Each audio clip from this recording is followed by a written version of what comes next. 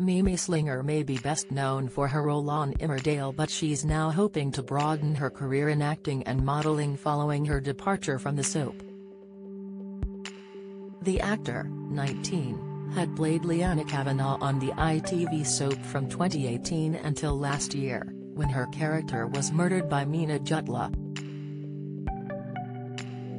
She's more recently pursued a career in modeling, is in a high-profile relationship and is even said to be auditioning for shows on streaming platforms like Amazon and Netflix. Having set her sights on life beyond Emmerdale, the actor signed with modeling agency Storm Management last year, joining the likes of Cindy Crawford, 56, on its roster. She has posted photos of herself from modeling shoots on Instagram and has teased projects on the platform, alongside posts of her showcasing her personal style. And although she is super keen to try her hand at modeling, Mimi told Inside Soap last year that she plans to continue to act in TV roles as well. As reported by The Sun, she further confirmed her plans in a previous interview, saying, I definitely want to keep acting.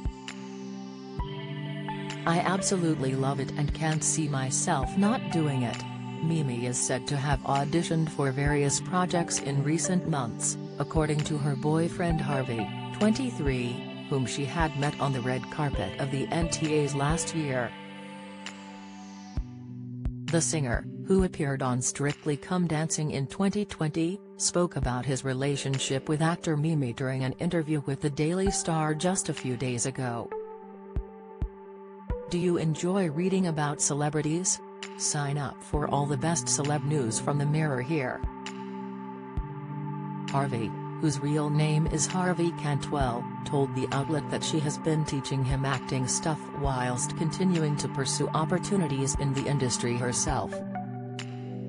He continued in the recent interview, she's doing loads of self-tapes for Netflix and Amazon at the moment and she does her modeling thing as well, so she's doing her thing. HRVY has teased that they could be a power couple like David Beckham, 47, and Victoria Beckham, 48, in the future. He said, I don't know about couple goals but one day we could be like Angelina, Jolie, and Brad Pitt. Oh no, they broke up, didn't they? Or Posh and Becks one day maybe.